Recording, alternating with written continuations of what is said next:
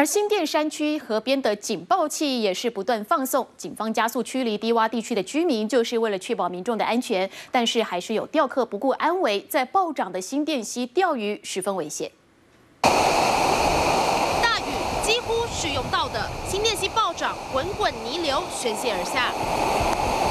台北台风携带惊人雨势，可以看到河面上面水流现在是非常的湍急。尽管已经发布了台风警报，但远方还是有人不顾生命危险，正在河边观浪，还有钓鱼。你们有有钓到鱼吗？钓客闪闪躲躲，不愿正面回答问题。毕竟台风天外头风大雨大，到岸边近距离钓鱼，就像是拿自己的性命开玩笑。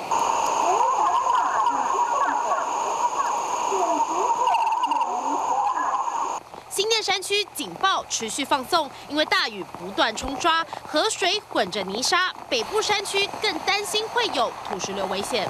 新北市警方也加速驱离低洼地区的民众，台美来势汹汹，尤其可观雨量，各地绷紧神经，进入最高警戒。UDN TV 蓝永森、朱启瑜台北报道。